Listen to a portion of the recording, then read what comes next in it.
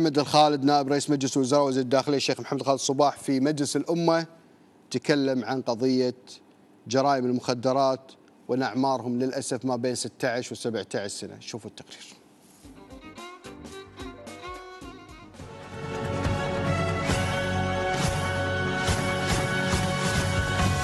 معالي وزير الشؤون والتخطيط شرحت آه، ما فيه إن شاء الله الكفاية وأشكر طبيعي رئيس وأعضاء اللجنة التشريعية اللي تناقشنا وياهم في هذا الموضوع.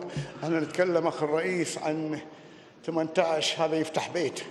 18 عنده ليسن. 18 آه، إحنا نسعى إن شاء الله أن ننزل حتى سن الناخب إلى 18 لكن لو بنطالع إحصائية آه، سجل الأحداث آه، مثل ما تفضلت أختي أم أحمد.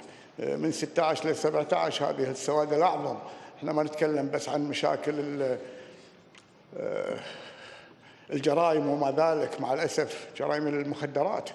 كل هذه الشريحة بعد 17 18 والابلى من هذا وذاك. الآن التطرف غسيل المخ يجي في بنك هذا الأمر. يعني عندنا حاله الآن الأب جاي يترجانا إنه لا تب... لا تخلون ولدي يسافر على أساس إنما العلمي أو عندي خبر إنه راح ينضم إلى مجاميع داعش. فاضطرينا نقول له اكتب لنا كتاب رسمي كولي أمر وإحنا ننظر بالموضوع. إحنا نتكلم عن 15 سنة ال- ال- الابن هذا اللي نتكلم عنه. فمن هذا المنطلق إحنا حبينا ننزل آه، سن ال- الحدث علشان شو اسمه اذا ما أنا أكدت إنه ما راح يتعارض ويا الاتفاقيات الدولية والعالمية وقانون الطفل فارجو إن شاء الله من زملائي إنهم ينظروا بهذه الأمور بعين الاعتبار. شكرا.